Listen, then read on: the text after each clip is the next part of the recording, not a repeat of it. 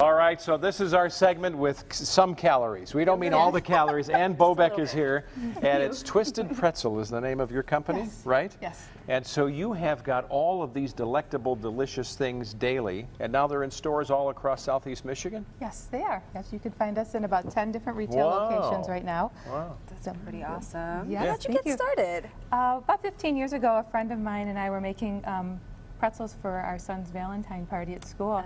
And then one thing led to another, and I started making treats for my husband to take to work, and it just kind of grew from there. So now we've been in business for three years, and we're just we're steadily growing. It's it's a lot of fun. So I know we're going to do something. Let me Yes. show you my little tools right over here. These are the only ones I'm allowed to use. This little pitchforky thing, you can't hurt anybody, a regular fork, and a paintbrush. Okay, Yes. Ann, I'm ready to go. Okay, Chuck. So let's see. I thought maybe we'd have you um, Okay. paint a pretzel. Let's so do it. grab your paintbrush. Oh, this is And then awesome your pretzel, which I already dipped for you, so you can just put that in your hand. chocolate dip. And then grab some of that on your. Grab this. And then just paint your pretzel. What am I painting it with? What is this? It's like a raspberry. Look at um, that. Oh lust- and my You can do the same if you want, or you can dip a chocolate in some milk I'm chocolate. dip it. Do I use Your, this? yep, just Okay. drop it in there. I thought this was just to feed my face with. How do I do this? just Look at go like this. that. Oh, And then okay. just use that to sink it into the chocolate. Very and cool. And this is all edible, Gently, this shiny part. Yep, it's all edible. Wow, okay. And then when you're done with that, you can put some, we'll bring this over to you. All right. You can take your fork Okay. and dip it in there, Dip it in here. and then just drizzle some dark chocolate on top of that pretzel,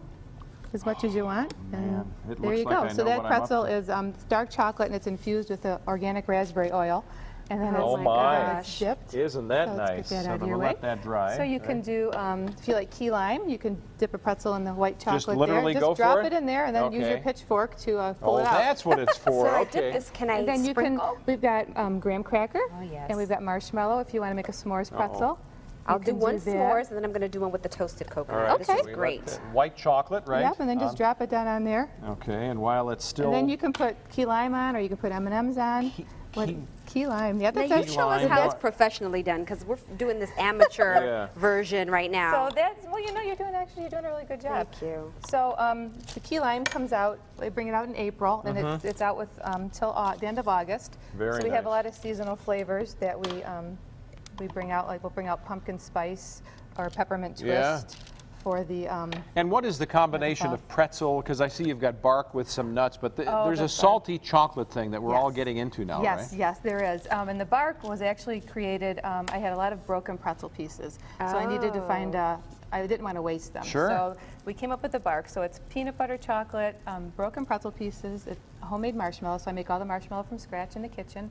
And then the dark chocolate. And Very it's, nice. Um, it's to die for. It's amazing. I'm Are we into allowed to do a little taste Oh, testing? so- Because the for key it. certainly, lime you're going to is- get, yep, you can is try it right? if you'd like. Yep, or we can open up one of these other bags and you can try it.